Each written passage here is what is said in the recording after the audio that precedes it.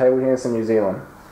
Um, the development in New Zealand, I think it's it's not bad. They have they've got pretty good support for a lot of the national the national level players.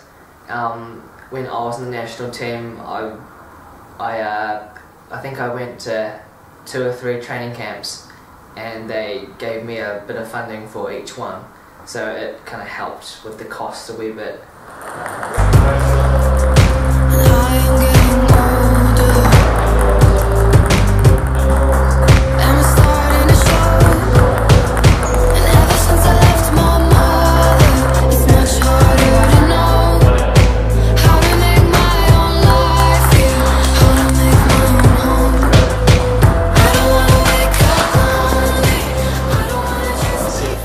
Uh, Matthew, as a Manawatu coach, how do you feel the local and national standard has progressed since you're a junior player? Uh, in terms of locally, definitely progress. I think we've certainly got more players now, over particularly the last four or five years that I've been coaching, uh, playing more at a national level. And then particularly, I guess, the last couple of years, we're now getting more juniors starting to come through and filter through through a lot of the work that's that I've done in the schools. So the kids are getting more of an exposure to it. So that's really pleasing. Uh, nationally wise, I think we're probably compared to when I was a junior, we're very similar, but there might be one or two more probably stronger players coming through in their sort of their age group, or particularly in the under 15s. And the under 15s now is definitely stronger than any time I've been playing table tennis, just through ability and numbers of top players in that age group, which is really good.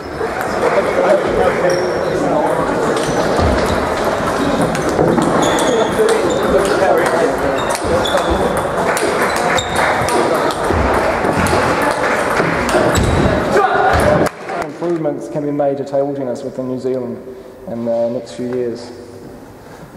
Well, I think in terms of the players wise, if I think about the ability of the players, as I said, we're really strong, probably under 15, and even stronger probably under 13.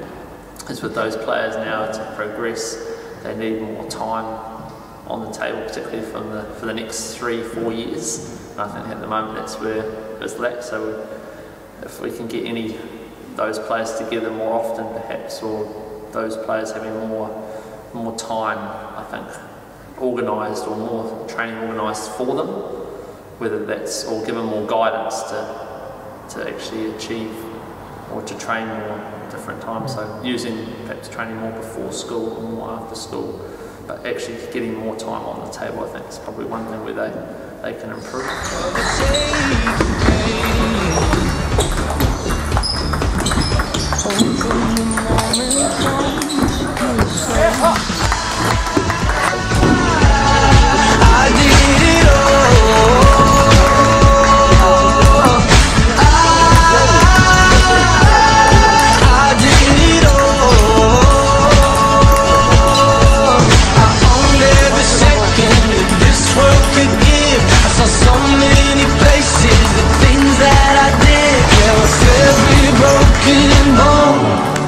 I I live.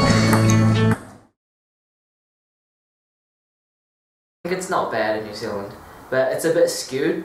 Like a lot of the development is like takes place in Auckland, and uh, so people from other regions are not as well off as the players that are in, in Auckland. Coach and player, uh, what attributes do you need to play table tennis professionally? Uh, you need to, I guess, strong, or high work ethic in terms of uh, in terms of your game and, and actually putting the time into training. I think a lot of players in New Zealand are uh, probably lazy trainers, if, if I use that word.